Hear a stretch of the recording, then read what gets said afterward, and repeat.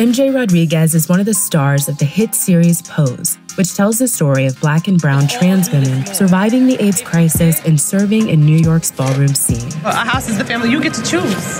I'm a house mother. The show made history for having the largest cast of trans talent in lead recurring roles, and Rodriguez quickly became one of Hollywood's most visible leading black trans women. Please welcome MJ Rodriguez. MJ Rodriguez. MJ Rodriguez, everybody. MJ Rodriguez! But despite the visibility, not a single trans actress from Pose has been nominated for an Emmy or a Golden Globe. I feel like the glass ceiling has been cracked. It hasn't broken. I feel like you know how like when you throw a rock up at the glass and it makes a hole, but the whole thing hasn't shattered and fallen to the ground yet. I feel like that's where we're at. There's women that are all beautiful shades of brown on the television screen.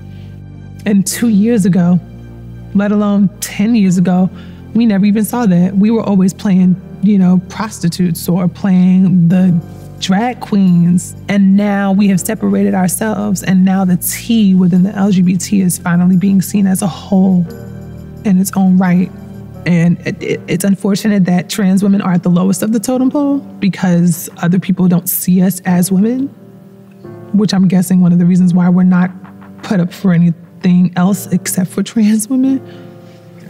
I address everything with patience. Some people don't think that's the right way. They love to fight. Do it, boo. Just know what's at stake. The Human Rights Campaign has been tracking the deaths of trans people since 2015, and 2020 has been the deadliest year on record.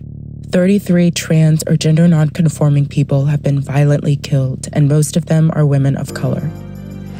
That number is likely higher due to misgendering by police. Black Lives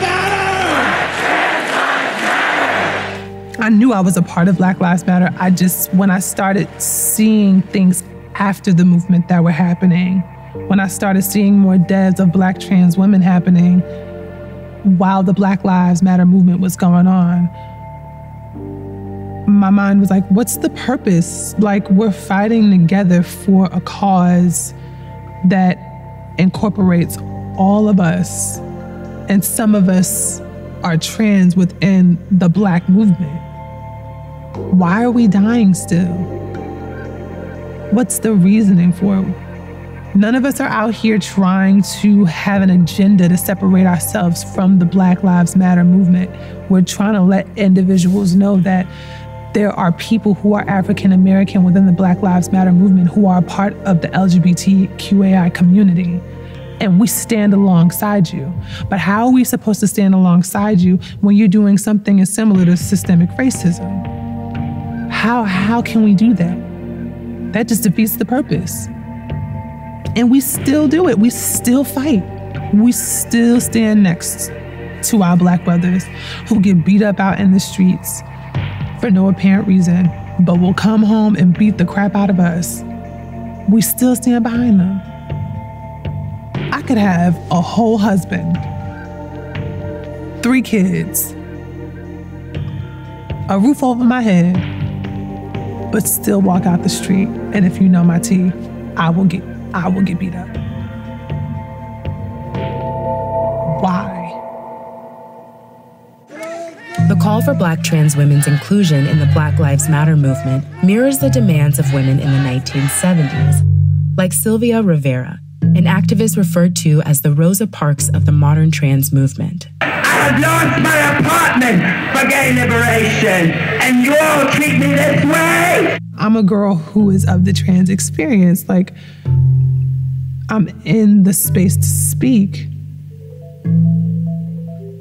And it makes me feel like my voice is not heard just as much as these girls whose lives are ta- whose voices were taken away from them. It's disappointing.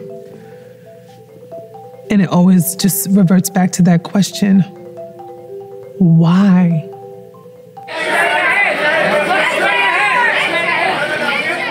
Validation in me is seeing the numbers, seeing the percentages, seeing the statistics, seeing the changes every time we get a chance to. Whether it be in Hollywood or whether it be in the Black Lives Matter movement, whether it be in the worldly movement, environmental movement, whatever. if I can watch Gen Z, them see me and just come up and be like, we saw our auntie MJ, you know, because I'm young, I don't want to be called mother, and, you know, I'll do that on the show. But I saw auntie MJ, I saw my sister MJ up there, and she's doing her thing. And now I'm the head of a school. I'm now I'm a principal, and now I'm I've implemented LGBTQAI rights up in the school. If I can do that with at least a million people, I'm good.